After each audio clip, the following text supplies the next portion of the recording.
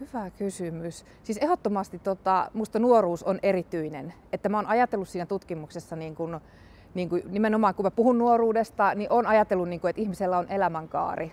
Että on erilainen, että se on erilainen kun sä oot lapsi, kun sä oot nuori tai aikuinen tai sitten taas jo ikääntyvä vanhus.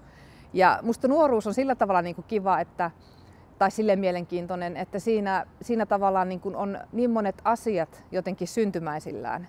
Ja siinä nuoret tekee niin kuin musta kovin isoja valintoja. Joutuu tekemään tai tietenkin toiset tekee niitä jotenkin ihan sille luontaisesti ja jotenkin niin kuin etenee siinä elämänkaaressaan. Eli tämä on ehkä se kriittinen, kriittinen piste ja semmoinen jotenkin mielenkiintoinen, että mitä sitten, jos nuori on tilanteessa tai jotenkin hänen resurssit, elämäntilanne on sellainen, että hän ei kykene esimerkiksi niitä valintoja tekemään. Ja sitten siihen tulee se auttamisjärjestelmä.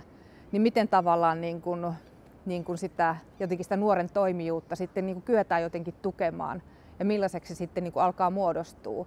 Ja itse näkisin silleen, että, että joillekin nuorille se on ihan ehdottoman tärkeä, että meillä on hyvä palvelujärjestelmä ja hyvä, niin kuin siellä hyvät työntekijät, jotka niin kuin kykenee kohtaamaan sitä nuorta ja toisaalta niin kuin auttamaan, avittamaan sitä nuorta jotenkin niin kuin selkiyttämään sitä, että mitä, mitä tässä maailmassa, niin kuin tässä yhteiskunnassa pitäisi, pitäisi tehdä tai mitä ihmiset tällä keskimäärin tekee. Koska mä en myöskään usko siihen sellaisen niin kuin, tavalla e-, elämän rakentamisen tapaan, että, että sä voisit jotenkin olla täällä ikään kuin, silleen, niin kuin osallistumatta tähän yhteiskunnan menoon. Eli että se tarkoittaa, että sä jollain tavalla niin kuin tuot myös oman panoksesi oli se sitten kuinka vähäinen tai minkä tyyppinen tahansa, niin joka tapauksessa niin kuin täytyy, täytyy niin kuin osallistua. Ja, ja ehkä niin kuin joku semmoinen ihan hyvä strategia on se, että sä jollain tapaa niin kuin tuut koulutusmarkkinoille tai, tai työmarkkinoille.